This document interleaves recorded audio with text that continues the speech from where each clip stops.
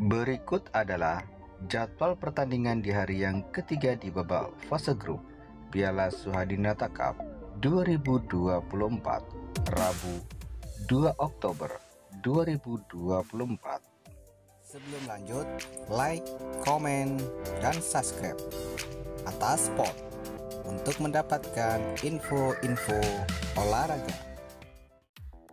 Untuk jadwal pertandingan di hari yang ketiga akan dimulai pada pukul 8.30 waktu Indonesia Barat. Inilah jadwal selengkapnya.